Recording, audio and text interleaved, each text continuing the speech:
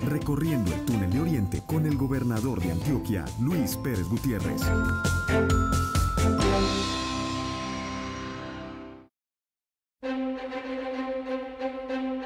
Los quiero invitar a que hagamos un recorrido por la obra más importante para la movilidad en Antioquia y en Colombia, que es el túnel de Oriente. Para los que vienen de San Diego, se entra directamente al túnel, no hay que parar. Igual ocurre para los que vienen del Alto Las Palmas. Y la salida es igual. El que sale del túnel puede tomar Las Palmas subiendo o bajando. Y eso se debe a un viaducto bellísimo que se ha hecho para la boca de este túnel aquí en Las Palmas. Miremos qué viaducto tan espectacular tenemos. Como ustedes pueden ver, esta es la primera boca del túnel ingresando por Las Palmas. El túnel de Oriente tiene dos túneles, este de 800 metros y uh, el grande que veremos más adelante. En la construcción del túnel de Oriente se generaron 3.000 empleos cada mes. Buen día, ¿cómo están? Especialmente a personas del Oriente antioqueño.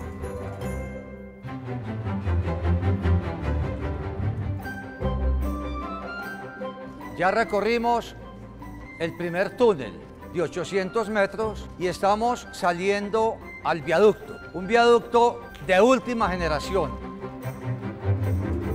Este primer peaje tiene cinco casetas. El propósito es que el túnel sea muy rápido y que de estas cinco casetas vamos a tener cuatro que son completamente digitalizadas y los que se afilien al paso digital podrán seguir directo, sin parar a más de 60 por hora se restauraron más de 55 hectáreas de bosque a través de la siembra de más de 30.000 árboles nativos. Se usaron técnicas constructivas innovadoras a través de la preinyección de cemento en toda la longitud del túnel con el objetivo de proteger y conservar las aguas, además de técnicas constructivas en viaductos y puentes en voladizos sucesivos que lo hacen el referente de ingeniería ambiental sostenible más importante del país. Este es uno de los viaductos más grandes de Colombia se llama el Chivo. Y miren ustedes cómo es un viaducto en curva. Y está hecho en curva en el aire precisamente para proteger la montaña. La ingeniería en el túnel de Oriente tiene un gran contenido ambiental y ese contenido ambiental del túnel de Oriente hay que generalizarlo en las obras públicas de Antioquia y de Colombia. No hay un lugar donde uno pueda tener esta vista es el Medellín ancho, el Medellín ancho, no el Medellín estrecho que estamos acostumbrados a ver. Miremos. Después de este viaducto ya vemos la entrada al túnel grande, al túnel más largo de América Latina, el más largo de Colombia, que nos ingresa a un mundo de 8.2 kilómetros debajo de la tierra. Aquí está la entrada al túnel principal, pero les vamos a contar un secreto, un detalle que no conoce todos los, los que han hablado del túnel, y es que hay un segundo túnel que ya está completamente excavado.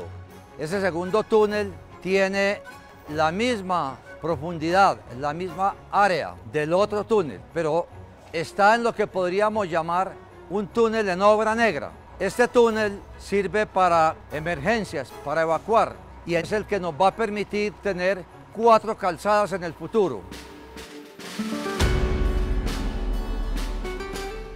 Es descrestante ingresar al túnel. 8.2 kilómetros, el más grande de América Latina en este momento. Y Antioquia, líder de estos túneles.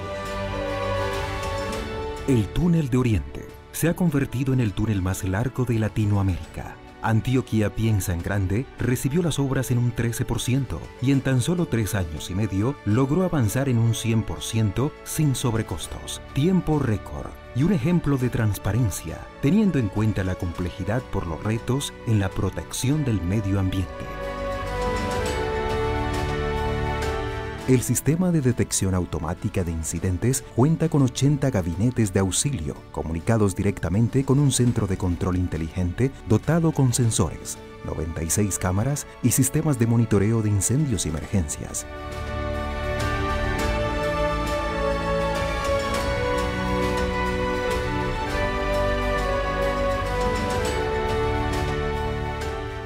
La boca del túnel en Río Negro. Qué emocionante este viaje. Esto sí es progreso, al estilo de una ciudad altamente desarrollada.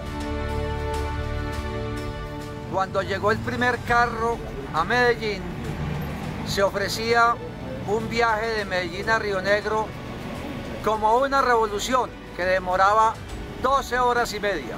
Pues hoy, con el túnel de Oriente, venir en menos de 20 minutos de Medellín a Río Negro al aeropuerto, no solamente es revolucionario, sino que es súper revolucionario y eso nos llena de orgullo a los antioqueños de haber hecho esta obra tan magnífica de última generación en la ingeniería del mundo. El túnel de Oriente no solo nos acercará con el mundo, disminuyendo la distancia con el Aeropuerto Internacional José María Córdoba, también se convierte en una mega obra que potencia el desarrollo industrial y turístico, el crecimiento económico de estos dos valles de vital importancia para Antioquia. Túnel de Oriente, hecho para ti.